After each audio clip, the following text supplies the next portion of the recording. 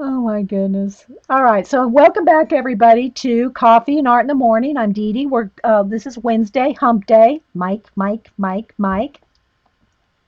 And um, so we already did.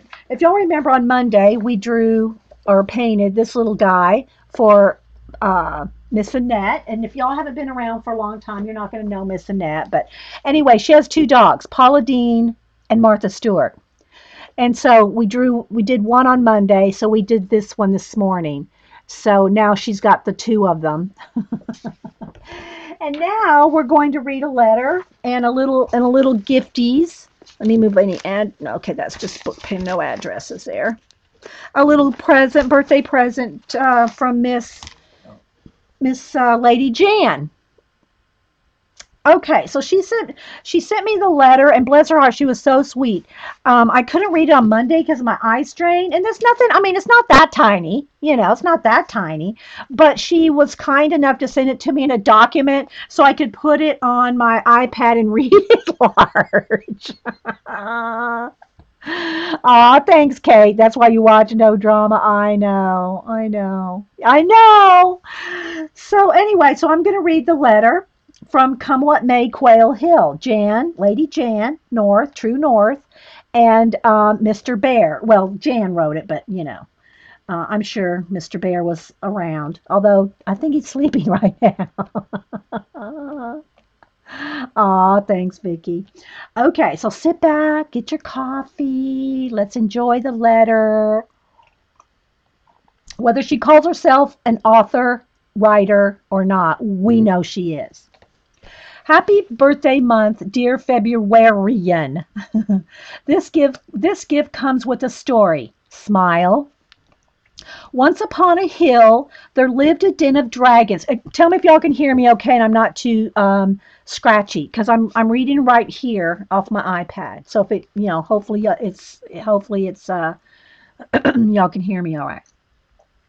Once upon a hill there lived a den of dragons who were quite different than you would expect from all the other dragons you've heard about. They really, mm-hmm. really dislike the taste of humans and have good reason never to try them again. It all stems from the experience of great GGG, Mother Mexi- Mexia, Mexia, M E X I A, Mother Mexia dragon, who tried to eat a human once in self defense, as the silly thing had come at her, yelling, waving a pointy stick. So she took it up in her mouth to swallow, but almost broke a tooth trying to crunch down on it. It was totally inedible. Later, they found out that she'd been trying to eat a knight, a K N I G H T, a knight, for goodness sake. Great stars! Everyone knows that you have to peel them from the shell first, and they're frankly not worth the effort. you gotta peel the knights from their shells. They also have an unusual mutation, a third or wandering eye, right in the middle of their forehead that can detach itself from its host and wander around as they command. And lastly, rather than hoarding gold, they hoard books. Most likely, millions of volumes by now are stacked up stacked up mile high in their mountain caves and guarded just as fiercely as any other dragon would guard their treasure. It's a wonder how they it is now wait sorry guys it is now wonder that they proudly bear the name of draconius libris you know dragon library dragon books the book hoarding all started with a young dragon named sylvan who, while swimming in the river just below his his ire, saw a rather petite. Okay, I don't know what this is. Brigadine, novice. Okay, B R I G H I D I N E. Brig, Brigadine novice attempting to do a dive off the main tower of the monastery in parentheses, she had been dared to do so by the group of her fellow postulants. As she as she dove from the height, Sylvan could tell Sivlan. Siv, I'm, I want to pronounce her names right. S Y V L A N.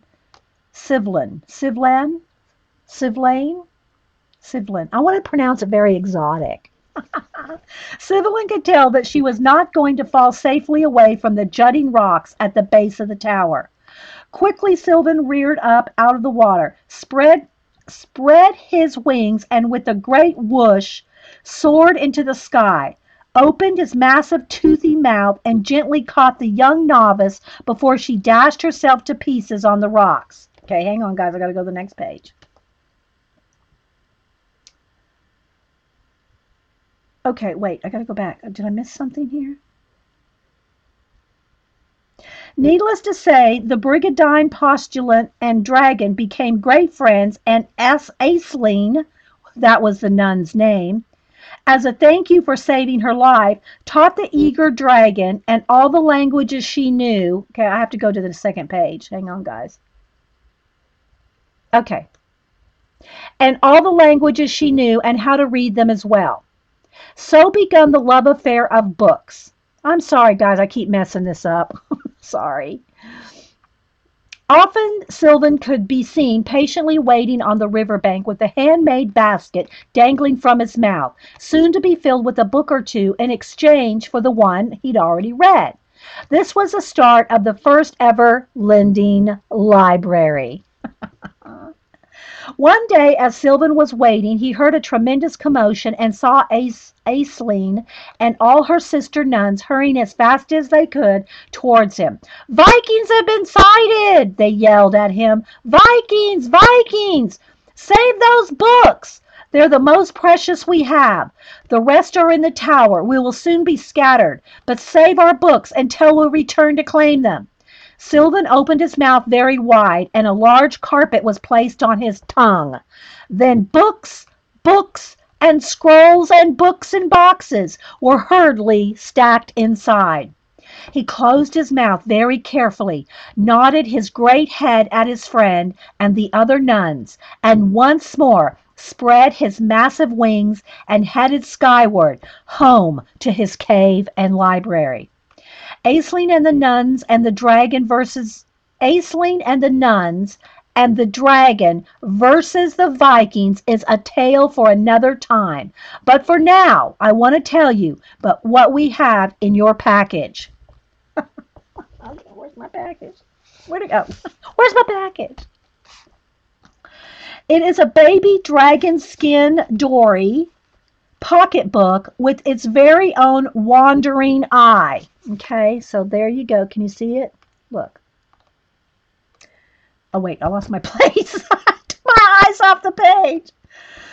now, Miss Dee, before you get upset thinking that the baby dragon, by, what by the way, her name is Deidre, was harmed in making of this dragon Dori, let me assure you that Deidre is still very much alive and well and growing like a weed in that cave of hers in the mountain in the back of Quail Hill. Quail Hill's where Jaen, uh, Lady Jaen lives.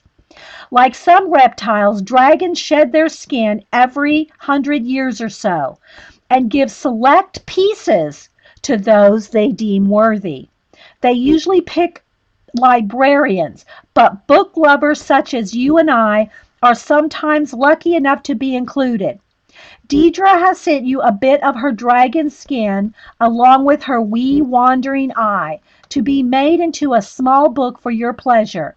If you stroke her wandering eye ever so gently on the bottom part of the lid, the eye will open slightly, but be but mostly being young, it just wants to snooze. Grin.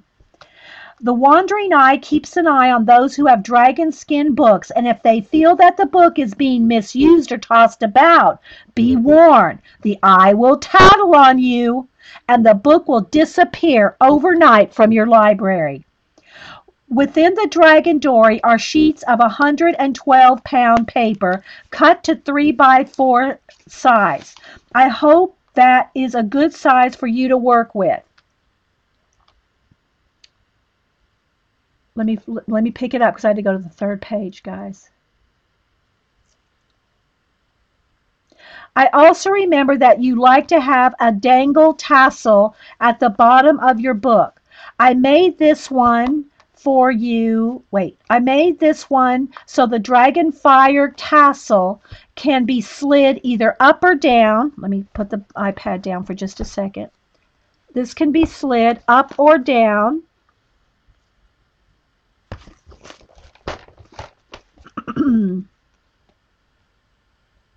depending how you like it. With the package, I'm including a small gauze bag. Where'd it go? Oh, where'd my little gauze bag go? Wait, wait. Did I set it aside? Oh, no, it's in here. Hang on. Here. Let me unwrap it here. With the package, I'm sending a small gauze bag with green, white, and dark purple lavender. Some Chinese Joss, New Year Joss paper, which is that right here. I'll take it out in a minute. One with the lovely fierce dragon on it. And she also sent these other papers. Yeah, let's go. Here's the go. Here's the one with the dragon. Okay, I'll open them all up in a minute. I lost my place again. And of course, some money envelopes you can use to put things in for giveaways. Along with the above, I've also included a 2017 bookmark, which has come all the way from Morocco via my cousin who was recently there. I love how the Europeans arrange their dates sideways. So here we go. You won't be able to see it, but it's it's the uh, the opposite way or the sideways. Um, Deidre would also like to tell you that she is very sorry to have missed your birthday, but it's a birthday month, so Deidre can rest uh, rest safely there, Jaen. Um, but hopes you will forgive her as she is very young and somewhat forgetful. I told her about you being a Februarian and your birthday month, and that made her very happy. So happy birthday month from all of uh, from Quail Hill, Quentin and his courts, Deidre Dragon, Misty the Grumpy Cat, Mr. Bear, not so grumpy, and of course the Lady Quail. Blessings. So yeah, don't tell me that Our Lady Jen is not a writer. so look at this huge piece of look. It's like a little like a little you'd put it on you, I guess. I don't know. It's awesome. So there's that Joss paper, and I hope I'm pronouncing that correctly. J O S S. And this smells so good. Take a sniff, guys. Thanks, Scooby. Oh, smells so good. And some book paper and some some uh, flowers. And these, I think these are her flowers. Uh, photographs. Uh, am I right? Let me see. She, no, she didn't write. These are your flowers, correct? Or in your neck of the woods, Lady Jaen? I think these are her actual photographs of hers. I think because she always takes awesome photographs. And then here's another paper here. Look at this, guys. Look at this. Look, it's all writing on here. When you need to be an author, children's book. Yes, Jaen does need to be a children's book author for sure. This is all um, writing on here. See, it's like a, it's almost like a scroll thing. A virtual sniff. That's right, precious. and then you know she sent the little the little Joss papers and some little um you know that's what they are. They're like little um I think you're supposed to like say a prayer on them and then they burn them. If I'm if I'm right about that. And they have so many different kinds. And guys, I, you know, I have no idea what they each one means. I know they have meanings for different ones. So yeah, and they all smell so good. It all smells so good. Some little lace, which could, you know, this could almost be a like I need to make a bookmark out of that. And some um, more little I mean, I'm thinking all this now is like dragon, dragon, dragon skins and feathers and you know, dragon lore. It's all dragon lore now. But look at this, guys. Isn't that just the awesomest thing? Can you see the eye? Look. Can you see it? It's dragon skin. Dragon scales. Oh my gosh. It's I'm gonna pet it nicely, like she said. And then she has all kinds of little, uh, it's like a little Dori. See, they're like little, little, um, attached. See how it's attached with the little thing there? And she has all different kinds of little papers and all, just all kinds of little things tucked in here. Little, um, tank paint water. so yeah, all just kind of little my little dragon for Miss Dee Dee. Made by hand. Oh, sorry, it's not wanting to focus. Confabulated Jaen by by hand. Confabulated by hand, Jaen. so anyway, guys, I wanted to do it justice, so I wanted to read this all out. hey, little bookworm. So yeah, isn't that look? It's just like you can put it at the top or the bottom. so yeah, thank you, Miss Jaen, so much. I know, right? So I'm gonna save this video as its own little, um, its own dragon book, dragon uh, story. So yeah, written by Jaen, Lady Jaen. I know. All right, guys. It's your water cup so you don't get. Oh, it's for over the water cup so I don't get confused. Oh my gosh, that's so clever. It's paint water. I get it. You put this on your paint water. Oh my gosh. Ah, Jaen. Well, let me put let me put it this way, Jaen. Let me show y'all something. I don't think I'm going to confuse this with this. Just saying. It's probably not going to happen. I'm probably not going to confuse the two. ah. I'm going to use it as a bookmark. It ain't gonna, it won't happen. Okay, just saying. All right, guys, let me save this video and I'll be right back.